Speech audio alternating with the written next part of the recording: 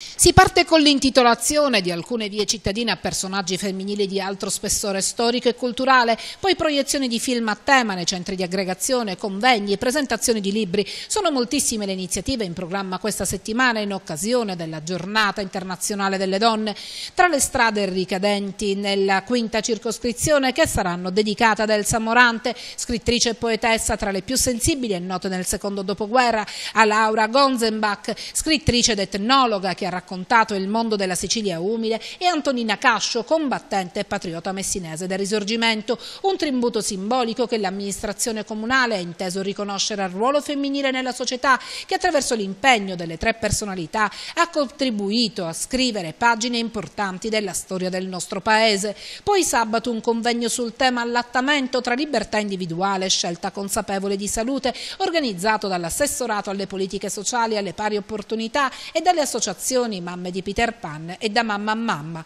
un focus sul tema dell'allattamento materno analizzato nelle diverse ottiche femminili partendo dal diritto fondamentale di salute sia per la mamma che per il bambino. Nei centri di aggregazione giovanile comunali invece cineforum al femminile con l'obiettivo di sensibilizzare i ragazzi verso una cultura priva di discriminazioni di genere. Oggi poi alla Galleria Vittorio Emanuele protagonisti Polizia di Stato e CEDAV.